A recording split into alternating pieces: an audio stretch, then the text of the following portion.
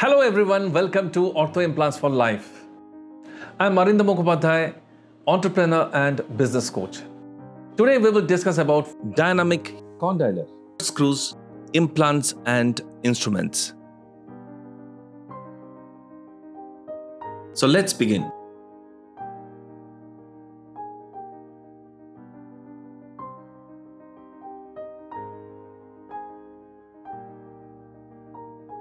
Today we will discuss about DCS or dynamic condylar screw. This plate has got three components which we will discuss one by one. This is called the barrel and the barrel plate angle is 95 degrees.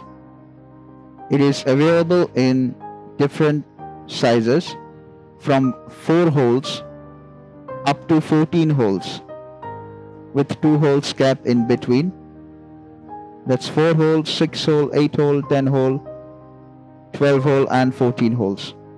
These holes are all non-locking holes.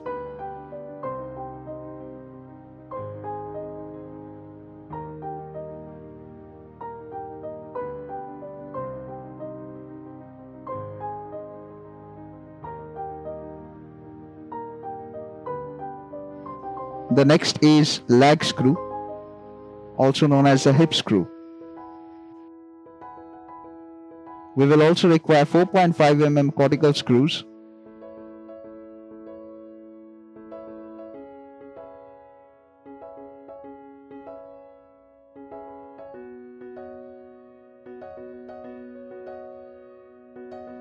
Then we will require 6.5 mm full thread cancellous screws. As you can see it's fully threaded.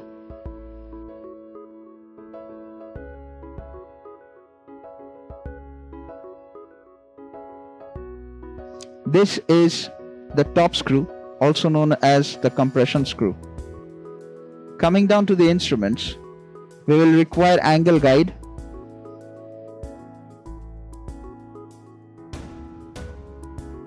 with a QC handle attachment,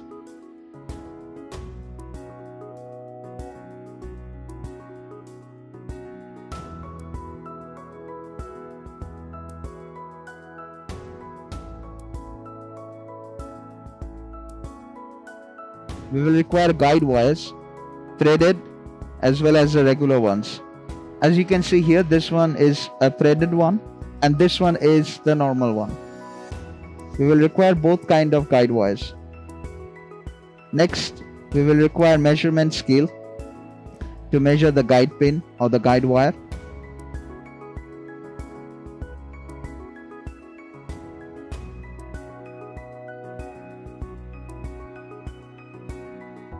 Then we will require triple action reamer. This one is a little different from the triple action reamer which we use in DHS or dynamic hip screw. You can check the video here by clicking on the I button.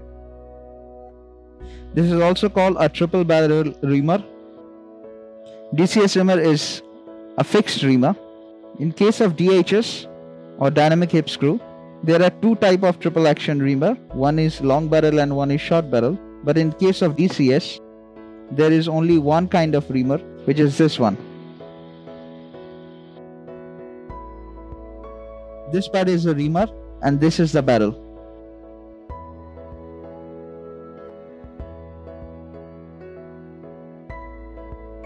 This is a DCS or DHS tap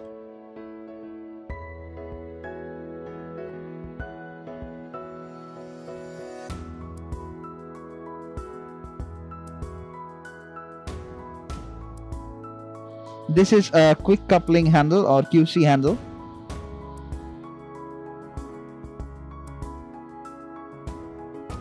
Now these are centering sleeves. This is a long one and this is the short one. This helps keeping the alignment of other instruments in the center. Generally used with a DHS or DCS tap.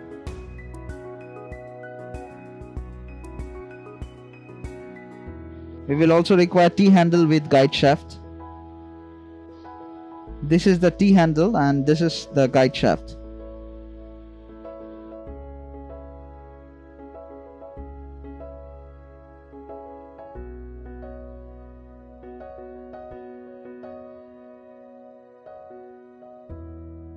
This is called a coupling screw or a plate holder.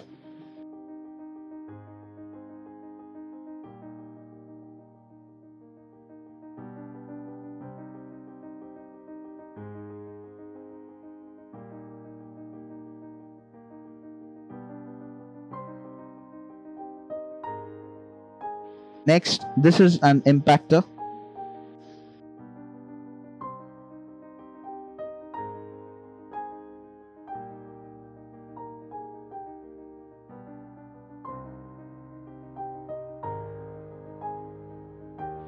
Next, this is a depth gauge.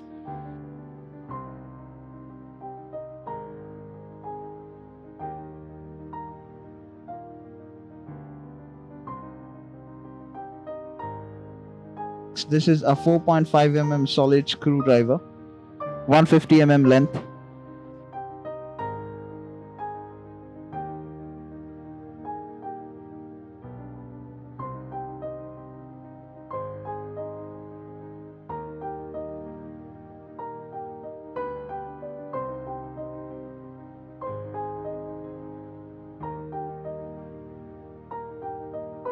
This is 3.2 mm drill bit, generally used for 4.5 mm cortical screw.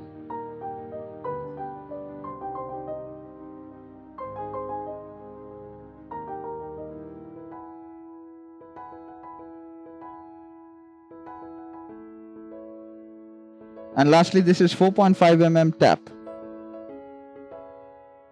These are all the implant and instruments required for a dynamic compression screw surgery.